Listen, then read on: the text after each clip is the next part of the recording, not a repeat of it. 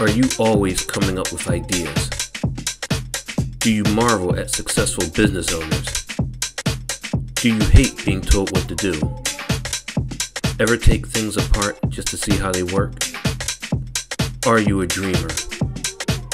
If you've answered yes to any of these questions, this podcast is for you. Welcome to the Entrepreneurial Enclave with Kevin Wortham, the podcast that focuses on building, maintaining, pivoting, planning, and investing in you, the entrepreneur. But first, a word from our sponsor. Pro Tapes and Specialties is the world leader in tape manufacturing and specialty conversion with over 40 years of experience. In addition to our pro brand of high quality specialty adhesive tapes, we provide contract converting services that help improve your profitability, streamline your supply chain, and reduce inventory cost. We offer the most complete range of converting capabilities in the industry, such as cloth tape, double coated tape, specialty tape, paper tape, masking tape, vinyl tape, carton sealing tape, adhesive transfer tape, duct tape, foam tape, electrical tape, filament tape, foil tape, reflective tape. And the tape just keeps on rolling. Visit us online today at www.protapes.com or call us at 800 345 0234. Pro Tapes, it's just how we roll. Welcome, welcome, welcome to another fantastic episode of the Entrepreneur Enclave Life's Coming Attraction. I am your host, Kevin Wortham. Today, we are going to finish up part two of what I thought and what will continue to be a wonderful conversation. Part two, Brother Jacque Howard, welcome to the scene. How are you, my friend? I'm doing fantastic, Kevin. As always, man, I appreciate any opportunity I get a chance to uh, talk with folks about you know what I do, yes, and um and, and and an opportunity to share so that people can be encouraged. So thank you for the opportunity. So so the last time that we were speaking, you were giving me a litany of all the things that you're involved in. I said, hold up, hold up, let's unpack that. So today for part two, we're going to impact. We're going to unpack all of that, brother. So what's the okay. first thing that you are involved in Sure. Well, well let's let's start with this. Um, uh, um, so Jacque Reach, R E A C H, yes, um, is the uh, business model that I've designed. Um, Reach is an acronym that stands for recreation, environment, art, civics, and health. Um, I like to go back to when I was a kid. Um, I was I was of that you know that uh, that demographic that went to school, public school, and they said, okay, here's a list of what you have to decide what you want to do when you're like 15 years old. So I got a piece of paper that had a couple of jobs on it. I'm, I'm, i have no idea what any of those things are and what they entailed. I'm a teenage boy. Yes. Um, so, so that was like a trauma that happened to me as a young person because it was almost like I was put into a box. Gotcha. So for many years, I was so concerned about, hey, I, I want to do all of these things, but everyone says I can't. Yes. So now that I'm in a situation in a space as an entrepreneur that I don't have to listen to those things, yes. is why I designed uh, Jacque Reach, which is a media. I'm really a media and a community organizer. Yes. And with that, Jacque Reach, recreation, environment, art, civics, and health is where I focus on um, the different categories. I usually, yeah, I usually take um, things that I'm passionate about and try to bring them to the larger audiences that I'm, I'm with, or um, things that catch my attention or that I feel the community you know, could benefit from. Yes. That and then and then I'll you know work design a program, try to get some information out, etc. From there. Okay, so give us give us the first give us the I guess the first one, so, the first leg of that of the of that of sure. reach of reach. Awesome. So, um, recreation, and under recreation, I'm focusing on two main entities. Um, both of them are around the idea of complete streets and mobility for human beings. So, if, under recreation, I am currently the president of Trenton Cycling Revolution, which is a nonprofit organization that focuses on bicycling. Well, it's rolling, bicycling, uh, wheelchairs, etc., um, transportation. Okay. And then, in addition to that, I'm, I'm also um, working as the lead to have an outdoor skate park built in Trenton. Okay. I love it. I love it. Yeah. Wow. Well, so now are you involved in the outdoor skate park that that's currently happening over at the Ellarslie? Not Ellarslie, but in Cadwalader Park. Yeah, so what's going on there is roller skating. Yes. Um, I'm I'm working on uh, skateboarding, uh, Gotcha. building an outdoor skate park, Gotcha. and this outdoor skate park um, will be uh, if if it's completed the way that the preliminary ideas are, it will be a destination site, and Trenton, New Jersey, would be a destination site for some of the best skateboarders in the country and in the world to come visit this location. Um, Wow. The idea is to have it built um, by Amtico Square, right along the Assunpink Creek, and that's in the East uh, Ward, or excuse me, that's in the East Trenton neighborhood over Yes. by the train station and the farm. yes. Also, the new um, uh, African American uh, burial ground uh, cemetery yes. um, it's over in that area. So, so there's some really big plans to have the East Trenton area become, you know, really finally to have a lot of uh, emphasis and work poured into that neighborhood because it's been, you know, it's just, it's been Years. it's been taken advantage of for Yes. years. Yes, sir. Um, Yes, so sir. this project is part of that, and there's a lot of moving parts to it. But um, from the community's um, standpoint, um, I'm one of the folks who put together the original idea to have a skate park built there. So um, um, I, I've got it all documented um, because it's important. The work that we do as entrepreneurs to make sure that we document it, um, that we can talk about it. Um, because things like this uh, usually get very big very fast, and it's easy to lose control over it Absolutely. and for it to look like it and for it to look like it was one entity or one person who put it together when it really wasn't. yes. So Gotcha. I love it, man. Much success on that one, and keep me posted on that one. And so, what's the Sure. what's the next one with the E? Sure. So with the environment, um, for many years, I've been hosting and uh, coordinating and participating in cleanups of various sorts. Um, those cleanups uh, usually um, started around the MLK Day as a day of service. So I've got a Facebook page along with Will Fossey that's called the MLK Day of Service. And uh, we've been doing that for many, many years, uh, just doing cleanups, et cetera. But it's transitioned now to uh, include um, my advisory work um, about the water and about stormwater runoff and how um, in cities like Trenton, um, oftentimes the environment is overlooked as as a subject that um, as a subject that focuses on who's being displaced or who's disadvantaged. I say that because here in Trenton, when it rains, we have several homes and neighborhoods that are very affected by stormwater runoff, flooding their basements, and things like that. And if those things aren't taken care of, it just leads to more issues, health issues, building issues, transportation issues, etc. So uh, through the environment, um, working with some organizations to start looking at rainwater mitigation. Um, do we have the proper drainage setups here in the city? When we do repaving of streets and things like that, are we paying attention to uh, stormwater runoff and how that's going to impact uh, residents and so forth? So that's a much bigger project that I'm working on, Yes. um, but I am working with a few other entities. Um, Delaware River Keeper is one of the organizations that I've chatted with on many occasions um, to bring information to uh, residents here in Trenton about their responsibilities, also about you know the laws um, that they're uh, protected by, to make sure that you know the municipality is doing everything they can to make sure that um, folks are staying safe. Wow. Interesting. I love it, man. Okay. Now, if, if if I if I learned anything in school based on what you just said, reach, that that means that there's the, the A is next, right? Yeah. Okay. The- the- yes, it is, my okay. man. Woo, you had me nervous there for a second. I said I can't mess up with, with, with spelling in public. All right. So the A is next. Tell me about the A. Sure. So, so um, my my real passion is art. yes. Um, I went to school for fashion. I've worked with some of the biggest players in the garment industry. For many years, I've worked with Jones New York. Yes. I've also worked with Ralph Lauren, The Limited, The Gap, Lane Bryant, Macy's, J.C. Penney.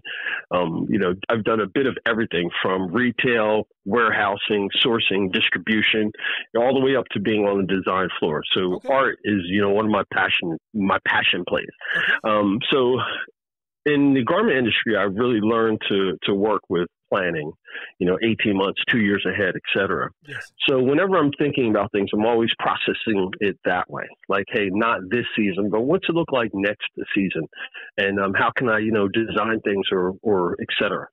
Now, with the art component, I do make art, but I don't consider myself an artist. Okay. Um, in the art component, I really like to focus on the others whose art I like. Um, I'm really pushing for folks to be more outspoken in uh, creating their own art collections, um, having their own art investment.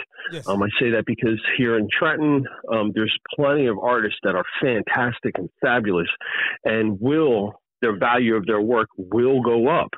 But um, oftentimes we don't know that there's an opportunity for us to invest in that yes. type of you know that type of model Gotcha. and to support the artist. So with the art component, um, I'm highlighting artists from all different genres. That includes visual artists, um, musicians, architects, uh, etc.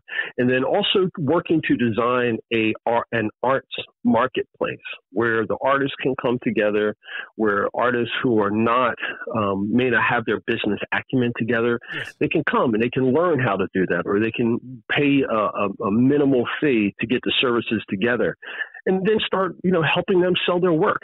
Um, I've got this wonderful building, Hub 13, 13 West Front Street, which is 7,000 square feet. We've got, you know, some, as far as art goes, we have some of the most wall space in the city that's a privately owned building. Okay. So we're looking to showcase and highlight as many local and regional artists as possible, assist them with, you know, getting their business plan and their license together and taxes and all those things. And then encourage people in our networks to, hey, buy these people's work because the sooner we can do that, it's going to get them to a space where their work is going to be more expensive and that increases the value of what we've purchased.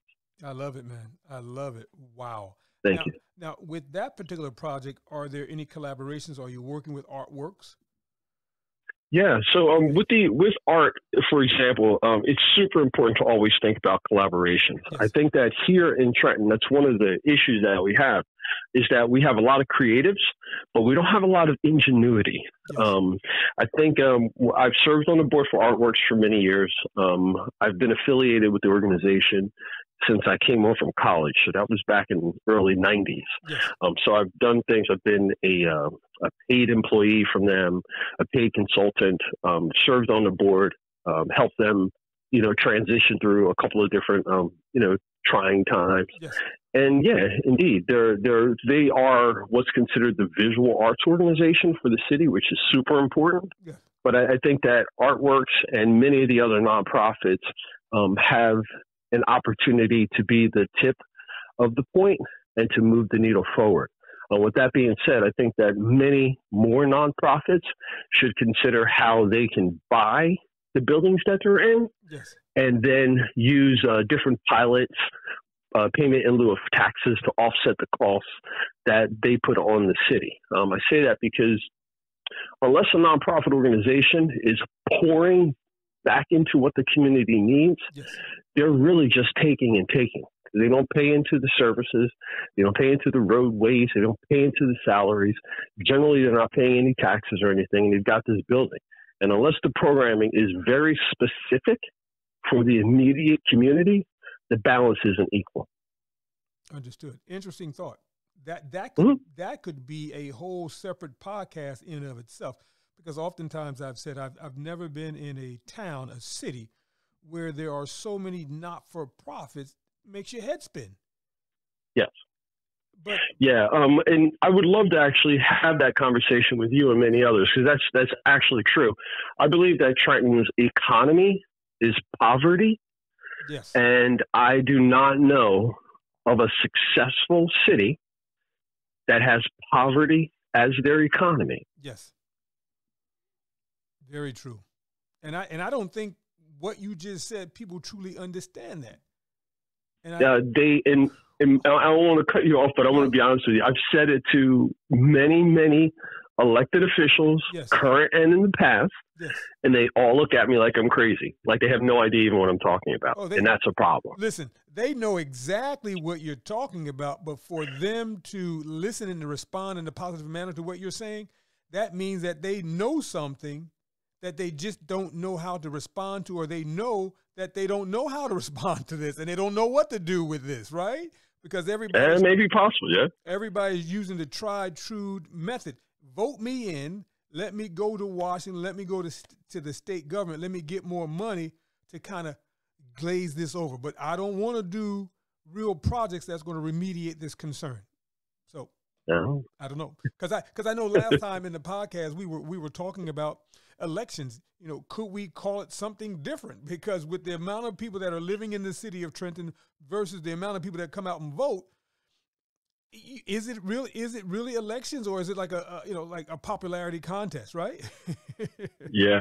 You know? Yeah, I, and I think that what you're saying leads right into C, Yes. which uh, stands for civics and Yes. civic engagement. Yes. Um, so the civic portion of it is, I, I think we don't have enough people who are fully vested in this community. I think that people um, have this idea that they're going to reach this point and then leave Trenton and go someplace else, and it's going to be much, much better.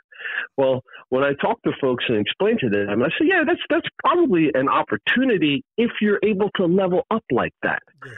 But if you're living in Trenton and you paying rent or your mortgage and it's twelve hundred or fifteen hundred, let's say less than fifteen hundred, where do you think that you're going to go and get the level up for less money or the same money? yeah.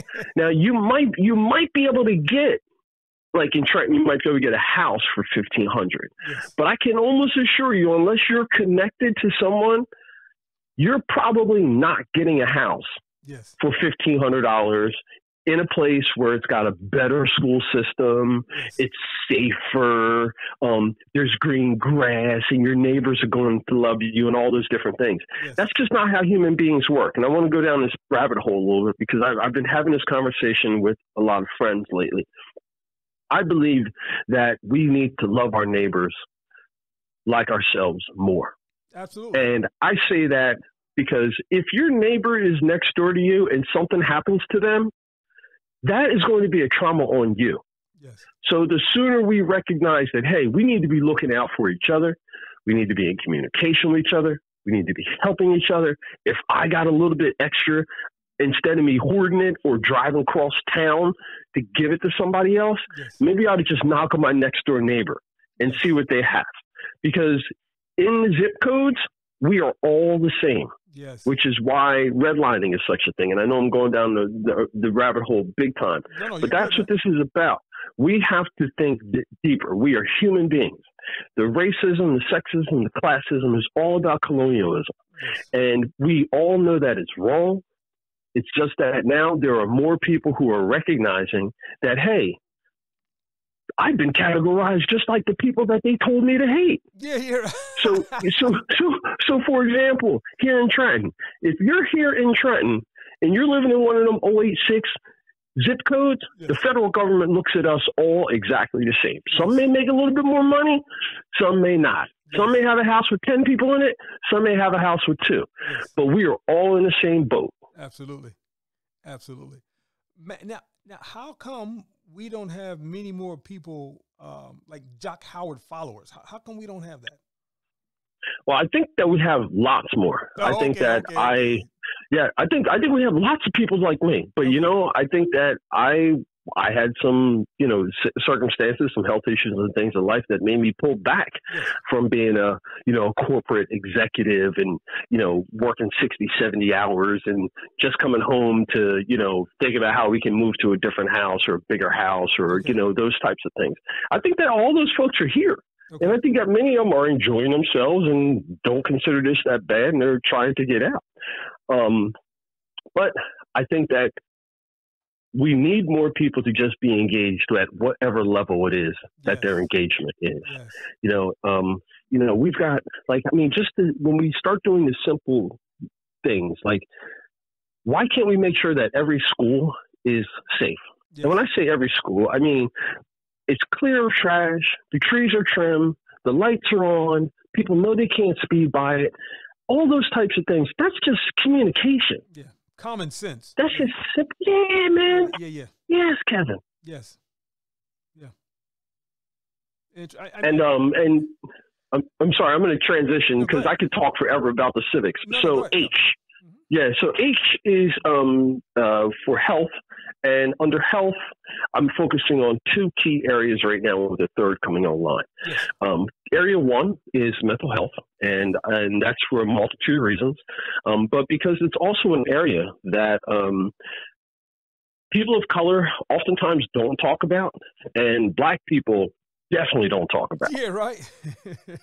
so, so we've and, and, we're often the ones who are living in the most trauma. Yes. As I, you know, do research about what you know PTSD and and and all the other SDs are, yes.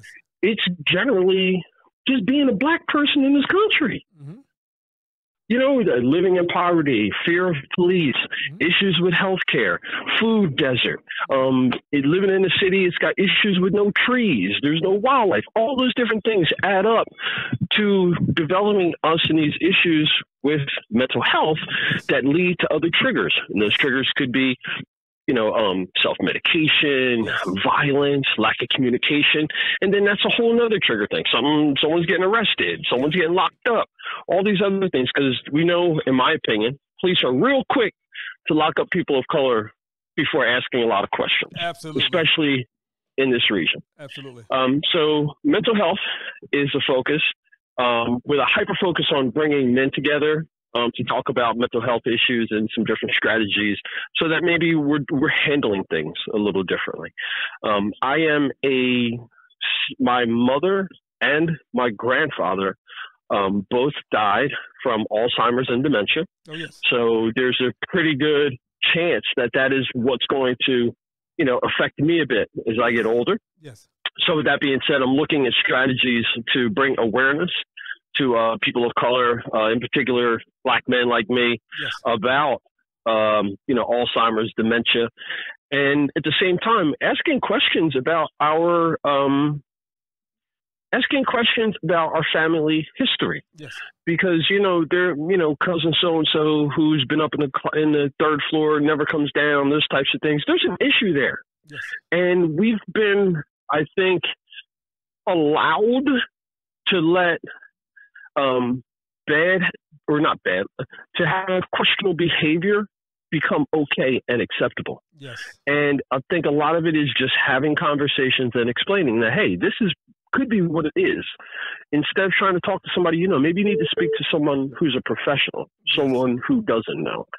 And finally, uh, under health is cannabis uh, cannabis and medical marijuana. For many people, I try not to use that term because marijuana is a cannabis. is a is a is a racist term in general. but yeah, but with cannabis, I am a medical marijuana patient. Yes. I believe this plant helped to save my life. Yes. Um, I use it on a regular basis and, and I consume it in various ways. Yes. Um, it helps me to uh, remain focused attentive. Um, it really assists with the chronic pain yes. that I have, uh, and uh, it allows me to sleep comfortably and peacefully yes. at night because so, I've because I've put the time in the education to learn about you know the different cannabinoids and and how um, it affects my body and how it can be part of my regimen um, to help me continue to be you know as best as I can be, feel as good as I can be. Now let me ask this question: could could cannabis save the city? Could cannabis resurrect the city? Hallelujah! I'm glad you said that, brother, because I've been out front. Yes. I've been out front talking about this for a few years. And I want yes. to give a huge shout out to my two business partners, Damon Williams and Phil Flip Charles. So Black Cannabis Enterprises. Um, yes. We we are nationally recognized. Um, Trenton is a hotspot for cannabis. Trenton is is a hotspot for cannabis superstars.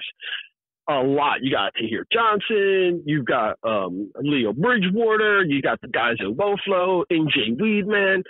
Trenton is nationally recognized as having some bad, bad cannabis people involved in it. Wow. So, so um, you wouldn't you wouldn't know that though well, that's again, that goes back to why I was saying in the first episode. I don't think that what we have is a political solution. What we have is is people who are really unaware um, yes. about what's going on. Um, this is a 23, approximately a 20 billion dollar a year industry. Yes. 20 billion with a B. Yes. And we have elected officials who are, for lack of a better word, pussyfooting around with this idea. Yes. The whole idea behind cannabis uh, uh, legislation was that the municipalities could design what the laws look like. Mm-hmm. Meaning, if the municipality said, "Hey, everybody who comes in, you've got to hire all the people from local. They have to be Trenton residents, etc." All right, you've got to pay X, Y, Z in taxes. Yes.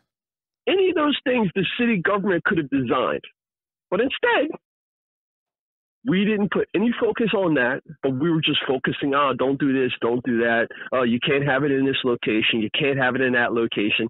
All the while, all of this commerce is already going on. Yes. I think Trenton has six or seven dispensaries right now that are operating. But we, but we and, don't have any downtown, and, do we? No, Okay. Well, no. We, well, we have places. We have places that are distributing, but we don't have any that have the New Jersey state license to operate. They're gotcha. operating as businesses in the city of Trenton and distributing, you know, cannabis, but they don't have the state license gotcha. and the city approval to do that because the city delayed so long to start to put together the Cannabis Regulatory Commission, which I believe they had that in place now. So now we can start moving forward where uh, cannabis companies and ones who want to come into the city now have a board that they can go to who they can present what they want to do, who can then decide, yes, this is something that we would like to have you be a part of. Yes. Um, many other municipalities have taken a an approach. Um, for example, Hamilton said they're not going to be able to dispense in Hamilton, yes, but they will let you grow. So Hamilton has taken the warehouse approach. So with the sprawling properties and things they have there, they're getting millions and millions of dollars um, because they have warehouses where people are growing cannabis indoor. Yes. Um, again, opportunity that we could have had here in Trenton if we had an educated um, legislative body mm-hmm. about the processes and what the opportunities were, but we didn't. Um, you know, maybe Trenton will get on board with consumption lounges, and consumption lounges would be, you know, similar to places where people you could go and they're 420 friendly. You can go yeah. in there and you can smoke and you can consume. Um, maybe that's something that, that we could take advantage of um, as as a city. Um, but I also think the bigger picture is hemp, H E M P, yes. the non psychoactive portion of the cannabis plant. Um, that has the ability to create tens of thousands of different products yes. um, from uh, building materials, clothing, paper, ropes, all those different things. Mm-hmm. Um, in addition to that, growing uh, hemp or cannabis that is the non psychoactive uh, product it actually helps to clean out the environment, like the ground and so forth. And oh, it's wow. a quick crop. It's yeah, it's only like I think nine months long. Yes. So literally every year you're you're having this ability to grow this product, to process it. Um, you, you the, the oils from it is what the CBD is. Yes. So you can use the byproducts from that to you know for um, you know vaping, consuming, you know uh, topicals, any of those things. Yes. So these are all opportunities and so forth that I hope that the city of Trenton explores. Um, I am going to I can to make sure that as many people who want to be in the cannabis space in whatever that space is. Maybe you don't want to touch it. Maybe you want to have a distribution. Maybe you want to come up with product placement or you want to come up with packaging ideas. Yes. All those are industry opportunities for people here in Trenton to get involved. And uh, through Black Cannabis Enterprises Hub 13, uh, 13 West Front Street, we're going to be encouraging people to come by, have a conversation with us. Let's talk about it. Uh, we'll connect some of the dots. Um, the people that we're going to connect you with are people who are in the industry, yes. um, who we've got a relationship with. So some of that um, try and see you won't have to go through because we'll do the processing for you. Jacque, listen, that is a fantastic note to to to to to end on. But man, you are so informative listen, the platform is always open to you, man. I love this conversation. So listen, let's do this. How can people reach out to you if they want to hear more about you and get in contact with you and all the work that all the great work that you're doing for the city of Trenton? Oh man, thank you so much again, Kevin. Again, I appreciate the opportunity. Yes. Um, the best thing for people to do is to uh, find me on social media. So on Facebook, Twitter, and Instagram, I'm Trenton 365, and that's the numbers 365. Yes. You can reach out to me. Just hit me up there. Um, DM me. Um, generally, what what we do is we have a brief conversation. Um, we can do it over the phone. We can do a Zoom, usually 15 minutes or so, and then from there um, we discuss what you want to do, and then I'll bring the idea and the concept to my business partners. We sit down and see if it's a fit. Then we invite you in to do a presentation between the three of us, and then we try to put together what it is you want to do, and if it's something we can do, and then we draw up what the business looks like, the you know percentages, and uh, people don't need to worry about crazy percentages. We're not looking to take you know 50, 60 percent of anybody's business. Yeah, yeah. What we're looking at is quick dollars. Uh, excuse me, quick nickels Yes. Are better than slow dollars. So with that saying, hey, you want to give up two percent of your business to have a international media company with superstars part of it to help you, you know, take your business to the next level, then hit me up. You know, they're the kind of things that we can do. Got Or- you. You can send me an email, Trenton, like the city, the numbers three six five, Yes. the word show S H O W at gmail.com. Love it. Kevin Wortham, thank you so much for all that you have been doing. Yes. Um, minding our own business yes. has been uh, a, a pinnacle in the community for entrepreneurship. And uh, so thank you for the work that you have done you, and for what you continue to do there as well. Thank you, brother. Jacque, let's You talk and well. Hey, listen, I need 30 seconds. If we Yeah. had to put a tagline on for this episode, what would we call it? Oh, man. Trenton 365? Uh, here we go. Okay. Uh, yeah, yeah, that's it. Trenton 365 yes.